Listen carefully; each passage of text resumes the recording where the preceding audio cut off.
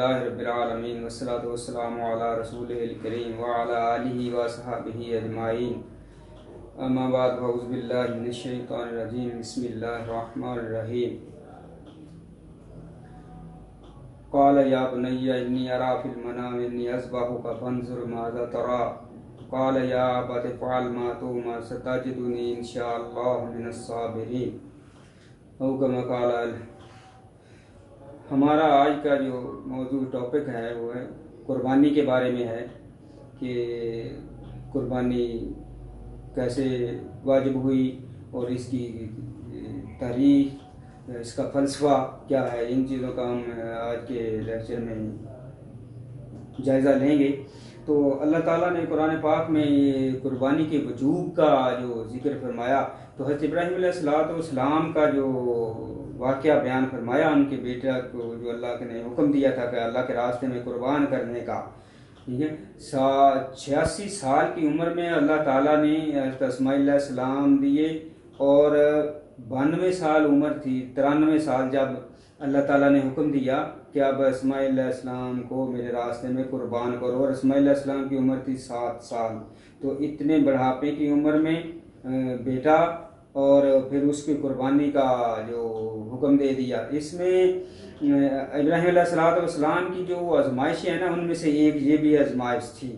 قرآن پاک نے اس بارے میں کہا ہے کہ کال فلما بالاگا ماہ سایہ کہ اسماعیل علیہ السلام جب بھاگنا شروع کیا تھوڑا سا کالا یا بنیا انی اراف المنام، انی ازباہو کا کہ اے میرے بیٹے، میں نے خواب میں دیکھا ہے کہ میں آپ کو تمہیں ذبح کر رہا ہوں۔ فنزر معذا ترا، اب تیری رائے کیا ہے؟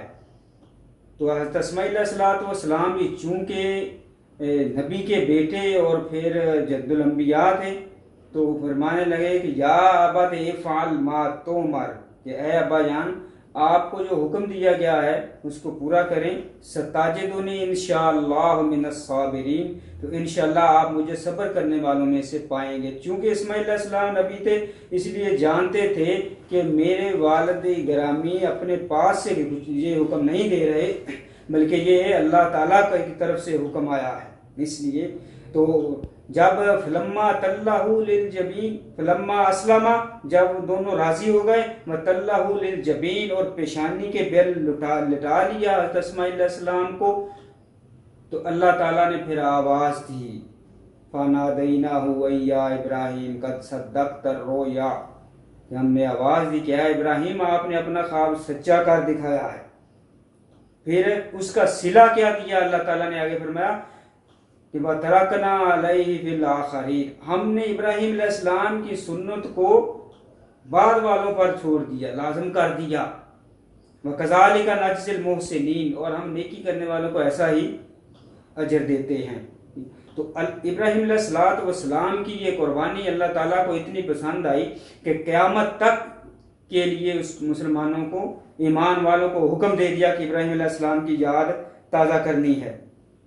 ٹھیک ہے؟ اور پھر اللہ تعالیٰ نے کہ کہیں ایسا نہ ہو کہ اس کو کوئی مطلب یہ سمجھ لیا جائے کہ شاید اسی امت کے لیے یہ قربانی کا حکم آیا ہے۔ نو، اللہ تعالیٰ نے فرمایا لکل امت جالنا من سکن ہم نے ہر قوم کے لیے، ہر امت کے لیے کسی نہ کسی شکل میں یہ قربانی رکھی ہے۔ اللہ تعالیٰ نے حضرت علیہ السلاۃ والسلام کے دو بیٹوں کی قربانی کا ذکر قرآن پاک میں کیا ہے، سورہ بقرہ میں۔ اور بھی جو جتنے بھی انبیاء آئے، امتیں آئیں، سب میں کسی نہ کسی طریقے سے قربانی کا آپشن موجود تھا اور وہ قربانی کرتے تھے، ٹھیک ہے؟ پھر قرآن پاک میں جو اللہ تعالیٰ نے اس کی مقصد کیا بتایا ہے قربانی کا؟ فرمایا کہ نہیں جنال اللہ لہومہا ولا دماؤہا، اللہ تعالیٰ کو تمہاری قربانی کا نہ تو گوشت پہنچتا ہے اور نہ خون پہنچتا ہے۔ ولا کی جنال تقوا من کم اللہ کو جو چیز پہنچتی ہے، وہ ہے تمہارا تقوا کہ تمہارا ایمان کتنا ہے، تم کس نیت سے کر رہے ہو۔ قربانی۔ وہ پہنچتا ہے اللہ کو۔ گوشت تم کھا لیتے ہو، جو خون ہوتا ہے، وہ زمین میں دبا دیا جاتا ہے۔ کوئی چیز اللہ کو نہیں پہنچتی۔ صرف تمہارے دل کی جو نیت ہے، وہ پہنچی جا پہنچتی ہے۔ صحیح مسلم میں اللہ کے رسول صلی اللہ علیہ وسلم کا فرمان ہے نا کہ ان اللہ لا ينظر الى صورکم ولا اجسامکم ولكن ينظر الى قلوبکم واعمالکم کہ اللہ نے تمہارا نہ تمہارے جسم دیکھنے ہیں، نہ تمہارے چہرے دیکھنے ہیں، بلکہ اللہ نے تمہارے اعمال دیکھنے ہیں اور تمہارے دل دیکھنے ہیں کہ کس نیت سے تم نے کیے۔ آیا اللہ کی رضا کے لیے قربانی کی؟ یا ایسے ہی دکھاوے کے لیے کہ لوگ کہیں گے کہ اس کا جانور تو بہت بڑا تھا، یہ تھا، وہ تھا، بہت کچھ تھا۔ ایسا نہیں ہے پھر اللہ نے یہ جتنے بھی قربانی کے حکم دیے ہیں نا، ہر حکم میں کوئی نہ کوئی مسئلہ سمجھایا ہے۔ مثال کے طور پر سورہ کوثر میں اللہ نے فرمایا نا فصلی ربی کا ون ہر کہ اپنے رب کی نماز پڑھو اور پھر قربانی کرو۔ مفسرین فرماتے ہیں کہ اس میں حکم یہ ہے کہ عید الاضحیٰ کی نماز پہلے پڑھنی ہے، قربانی بعد میں کرنی ہے۔ یہاں سے وہ مسئلہ یہ بیان کرتے ہیں کہ قربانی سے، عید سے پہلے جس نے قربانی کر لی تو اس کی قربانی نہیں ہوگی۔ ٹھیک ہے؟ پھر اللہ تعالیٰ نے ایک اپنے رسول صلی اللہ علیہ وسلم کو یہ حکم بھی دیا یعنی ایک دعا سکھائی کہ کل ان صلاتی و نسخی و ماہیا و مماتی للہ رب العالمین، کہ آپ ایسے دعا کیا کریں کہ میری نماز، میری قربانی اور یہ میری زندگی، میری موت، یہ سب اللہ ہی کے لیے ہے یعنی اسی ہی کے تابع ہے، اسی کے ہی احکام کے تابع ہے۔ تو صحابہ اکرام رضی اللہ عنہم نے اللہ کے رسول صلی اللہ علیہ وآلہ وسلم سے پوچھا تھا کہ یا رسول اللہ، مل ازاہی، کہ یہ قربانی کیا ہے؟ تو آپ صلی اللہ علیہ وآلہ وسلم نے صحابہ اکرام کو جواب دیا کہ سننا تو ابھی کم ابراہیم، یہ تمہارے باپ ابراہیم علیہ السلاۃ والسلام کی سنت ہے۔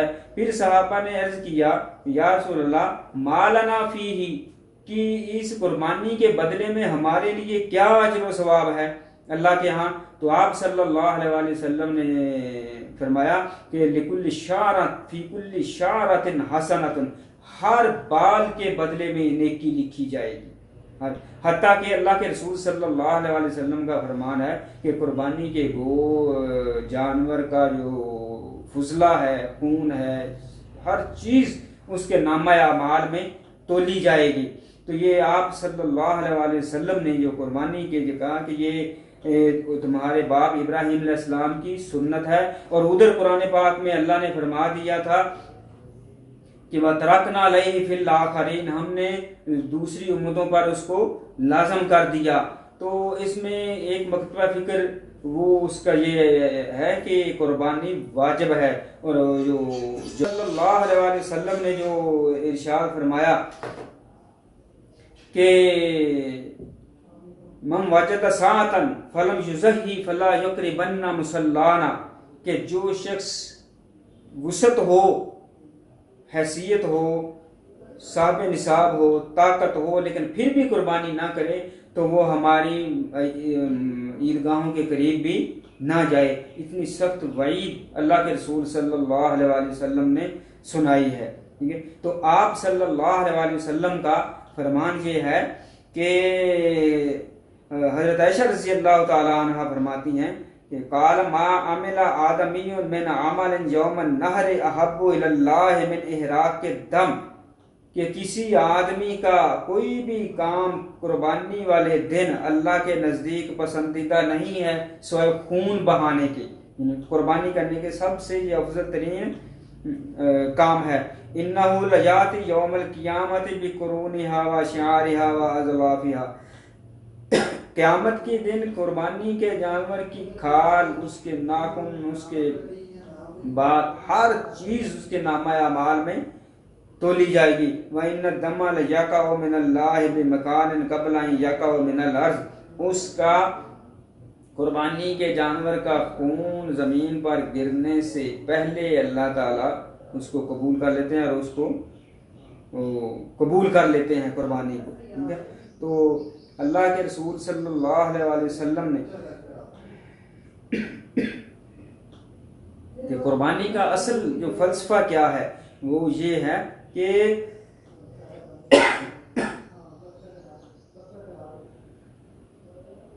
اپنی خواہشات کی قربانی۔ یہ ہے اصل فلسفہ۔ جانور کی قربانی یہ اللہ نے بتایا ہے کہ سب سے پسندیدہ تین ترین قربانی دینی ہے۔ لن تنالوا البر حتى تنفقوا مما تحبون۔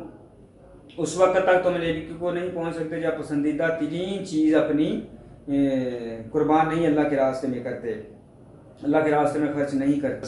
ہے کہ مقصد یہ ہے کہ اپنی انسان، اپنی خواہشات کو اللہ کے تابع کرے، اللہ کے رسول کے تابع کرے، اپنی خواہشات کی قربانی دے۔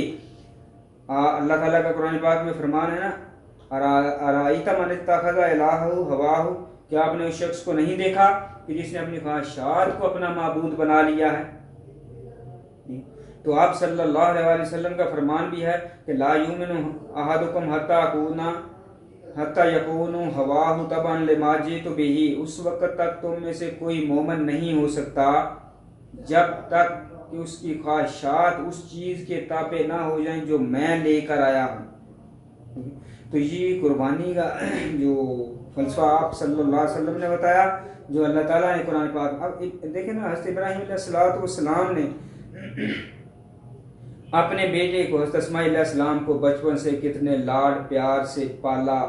پھر ان کی پرورش کی اس ایک بڑھاپے کی عمر میں، آخری عمر میں اللہ نے بیٹا دیا، اور پھر اس کا حکم دے دیا کہ یہ میرے راستے میں قربان کرو۔